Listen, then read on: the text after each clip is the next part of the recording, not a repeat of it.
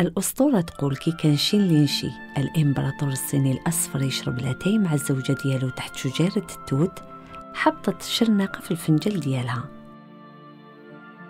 ومن كثرة ما كان سخون شرناقة ولات خيط أبيض. رفداتو وبدات تدور فيه على صباعها. حست بلي هاد الخيط متين ولو كان تنسجو راح يشد مليح. الخيط جا من دودة يسموها Bombyx mori. تعلموا الصينيين يربوها ومنها بداو ينتجوا الحرير في عهد هاد الإمبراطور شونغ 1500 سنة قبل الميلاد. وخباو هاد الكنز مور حيطان السور القديم كتر من 30 قرن.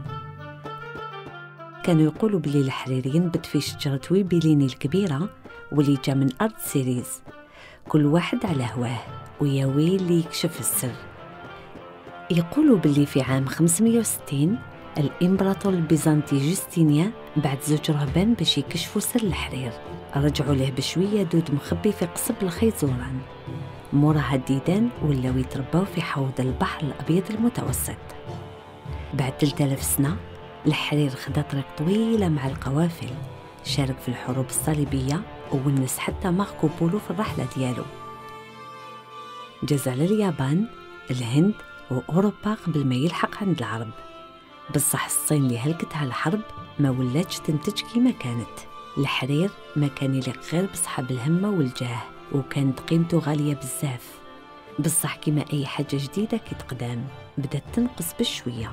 وفي القرن 12 قبل الميلاد ولا الحرير يتخدم بكميات كبيرة بزاف حتى ولاو يديروا به خيوط الصيادة وشكايل الماء. وفي 2003 الصين خدمت باش ترجع تتربع على عرش إنتاج الحرير. وكما كان الحال الحرير دار دار ولا الحضان صور الصين العظيم. واليوم الصين ولات أول منتج ومصدر الحرير اللي كانوا مازال واحد من أفخر أنواع القماشات. ويبقى الحرير محبوب عند ناس كتير تتكسوا به وتذوقوا الخير. من نحكي لي على زمان نتمنى لكم البركة والتيسير.